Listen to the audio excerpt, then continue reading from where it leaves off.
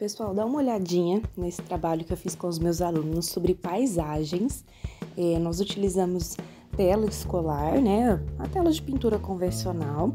E também utilizamos tinta nanquim, que era a tinta que a gente tinha disponível na escola. E no começo eu fiquei meio assim, porque eu nunca tinha trabalhado com a tela e o nanquim juntos, né? Porque o nanquim é uma tinta mais líquida e tudo mais. Só que deu super certo. Eu achei que as cores ficaram super vívidas, né? Eles adoraram trabalhar com esse material. E assim, para a gente dar início a esse projeto, eu comecei ensinando eles quais são os estilos de paisagens que nós temos na arte.